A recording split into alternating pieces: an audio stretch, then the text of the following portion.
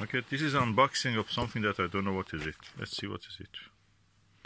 Okay, I've now cut the sellotape. Let's see what we have here. Oh, we have lots of packaging material.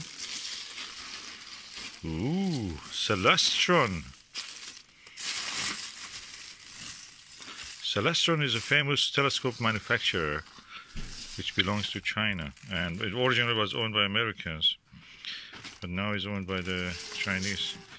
This Celestron Ultima LX. Oh, let me open it. It's an eyepiece, fully multi-coated. Uh, it's fully multi-coated, 70 degrees apparent field of view, 16 millimeter eye relief. Oh,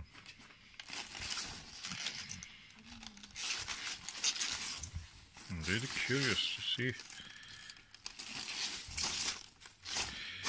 Let me open it. It's quite heavy. I'm not surprised I had to package it so well. Oops. Oh, nicely package. Let us see this beauty.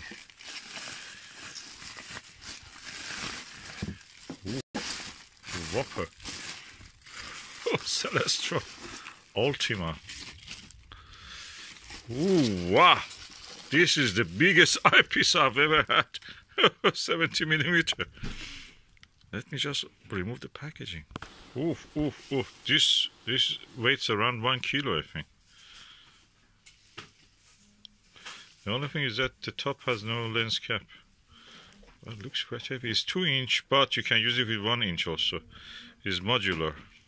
Yeah, it is modular. So you can use it with one inch uh, focuser, and you can use this part of it for two inch focusers. Quite chunky. If I want to look into, I can say that this is really impressive. So I have now turned off the flash and you can see through it the objects in the room. And here also. This is the viewpoint you will have when you look in the uh, through this to the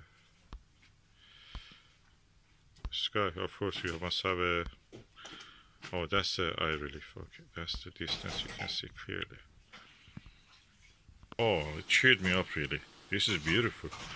I wonder how much I bought this. Let me check and I have bought this 69 pound.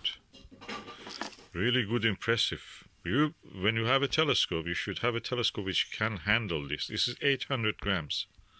Uh, that's two pound in weight, and really, really impressive, heavy object. Oh, I'm so delighted. Um, I wanted to buy a Pentax uh, eyepiece, but that was really exorbitant prices. It went really high, and uh, I didn't want to pay that much for an eyepiece. And I'm really delighted with this one I received. This is the oldest style. They don't make it anymore like this. Quite heavy, chunky.